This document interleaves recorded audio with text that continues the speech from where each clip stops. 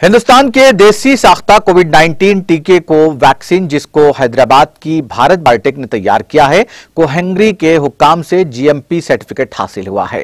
National Institute of Pharmacy and Nutrition Hungary से इसकी मंजूरी मिली है, जिसके ज़रिए कोवैक्सीन की तैयारी के लिए गुड मैन्युफैक्चरिंग प्रैक्टिस से तस्दीक की गई। भारत बायोटेक दुनिया के मुख्तलिफ़ ममालिक में इमरजेंसी यूज़ अथराइजेशन के लिए दस्तावेजात को दाखिल करने का मनसूबा रखती है। जुमेरात को माइक्रो ब्लॉगिंग साइट ट्विटर पर इस बात की इतला देते हुए कंपनी ने कहा कि हमारे अकाउंट में एक और संगमेल हुआ है, क्योंकि कोवैक्सीन को हैंगरी से जीएमपी सर्टिफिकेट हासिल हुआ है। इस मंजूरी के बाद भारत बायोटेक ने आलमी मैार के मुताबिक टीकों की तैयारी और इख्तरात में एक और अहम संगमेल को अबूर किया है और कोविड की वबा के खिलाफ जारी लड़ाई में पेशकदमी की है।